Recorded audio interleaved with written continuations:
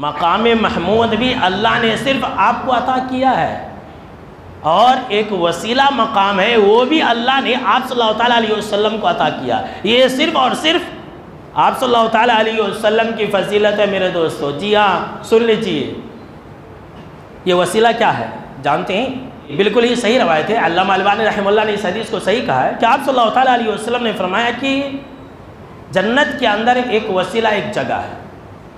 लई सफ़ो कहा दर्जा तुम उसके ऊपर कोई जन्नत का दर्जा नहीं है सुबह अल्लाह हम और आप ये जानते हैं और ये सुनते हैं कि अर्श के नीचे जो है, ये जन्नतुल फिरदौस है। जन्नतुल फिरदौस, ये जन्नत का सबसे आला और ऊँचा मकाम है।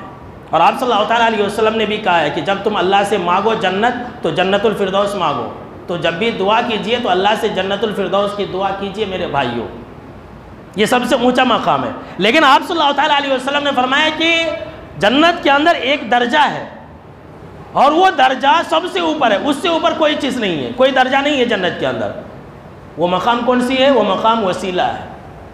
और इस वसीला मकाम के बारे में जनाब मोहम्मद अबी सल्लल्लाहु अलैहि वसल्लम ने फरमाया, ये जो मकाम है, जो सबसे ऊँचा दर्जा है जन्नत के अंदर, ये अल्लाह रब्बुल अपने तमाम बंदों में से सिर्फ़ एक बंदे को अता करेगा।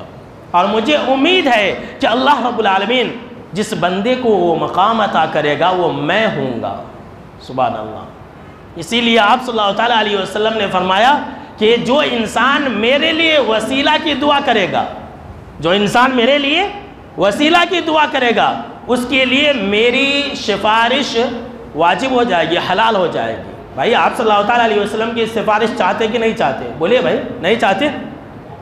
तो चाहते तो एक आसान काम कीजिए और आप सल्लल्लाहु अलैहि वसल्लम की सिफारिश को हासिल कर लीजिए। वो आसान काम क्या है जानते हैं? कब दुआ करनी है? अजान के बाद की दुआ पढ़िए। अजान के बाद की दुआ कभी पढ़ते अजान तो हमको और आपको सुनाई नहीं जाती है। आज़ान होती रहती है, मोबाइल में घुसे रहते हैं, आज़ान होती रहती है, गालियाँ बकते रहते हैं, आज़ानें होती रहती है, टीवी में घुसे रहते हैं, आज़ानें होती रहती है, और सोशल मीडिया व्हाट्सअप और फेसबुक चलाते रहते हैं तो आज़ान का जवाब कब देंगे? दुआ कब पढ़ेंगे? सुनिए मामूली मत समझिए, आज़ान के बाद की दुआ। याद है कि नहीं? अल्लाह मरबा से दावत तम व सलातमा आती? बोले भाई, आती मोहम्मद अनिल वसीला वलफ़ीला वह बात मकाम महमूदा नीलदी वागता कि ला तो मोहम्मद सल्लल्लाहु को वसीला मकाम अता कर। देखिए, जो ये दुआ पढ़ेगा, जो ये दुआ करेगा कि अल्लाह तो मोहम्मद सल्लल्लाहु अलैहि वसल्लम को वसीला मकाम अता कर। और जो मकाम महमूद का वादा तूने किया है, वो भी तू अता कर दे। तो आप सल्लल्लाहु अलैहि वसल्लम ने फरमाया, उसके लिए मेरी शिफात हलाल हो जाएगी, मैं उसके हक़ में सिफारिश करूँगा। चाहते कि नहीं चाहते? बोलिए भाई, चाहते ना? आप सल्लल्लाहु अलैहि वसल्लम ही सबसे पहले सिफारिश करेंगे।